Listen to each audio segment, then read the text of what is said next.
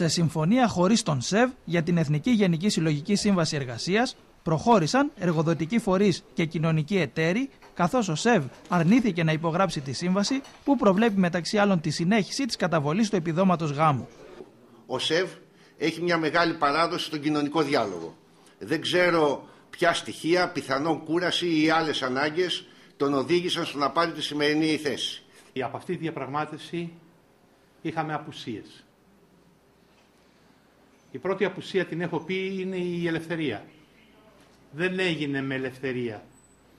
Έγινε ένα, κάτω από ένα καθεστώς που διαμόρφωσε ένα ασφικτικό αντεργατικό νομοθετικό πλαίσιο που ψήφισε κατ' εντολή της Τρόικα η κυβέρνηση. Πρέπει να ξέρετε ότι την, αύριο το πρωί, αν δεν υπογραφόταν η σύμβαση, εκατοντάδες χιλιάδες εργαζόμενοι θα έχαναν ένα επιπλέον 10% από την αμοιβή τους. Η βασική θέση του ΣΕΒ είναι ότι εκ του μνημονίου ο ρόλος των κοινωνικών εταίρων έχει περιοριστεί δραματικά και η υπογραφή Εθνικής Συλλογικής Σύμβασης αποτελεί παροδία, προτείνοντας ανταυτή στη δημιουργία ενός πρωτοκόλλου συμφωνίας επί βασικών θεμάτων και αρχών, στο οποίο θα υπήρχε ενσωματωμένο και το επίδομα γάμου.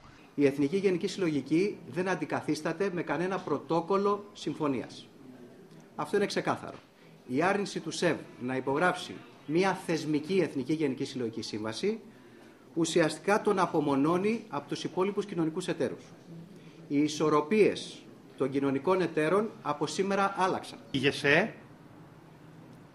και οι εκπρόσωποι της δεν έχουν υπογράψει καμία μείωση μισθών. Καμία συλλογική σύμβαση που να έχει μειώσεις.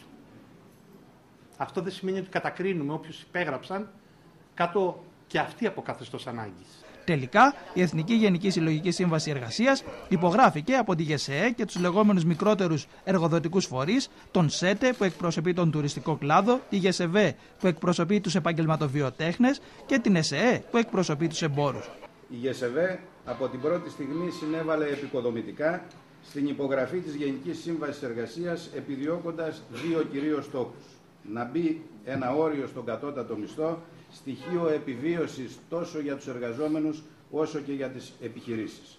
Και να επιστρέψουμε το συντομότερο δυνατόν στις ελεύθερες διαπραγματεύσεις οι οποίες για να έχουν έννοια θα πρέπει να λειτουργήσει η επεκτασιμότητα.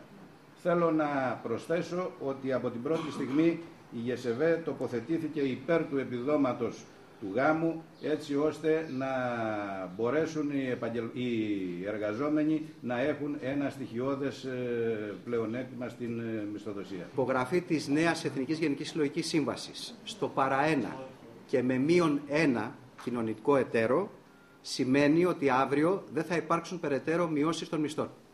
Αυτό είναι το κυριότερο και το σημαντικότερο και αυτό το οποίο ε, επιδιώκαμε από την αρχή. Πρέπει να ξέρετε ότι την, αύριο το πρωί αν δεν υπογραφόταν η σύμβαση, εκατοντάδες χιλιάδες εργαζόμενοι θα έχαναν ένα επιπλέον 10%.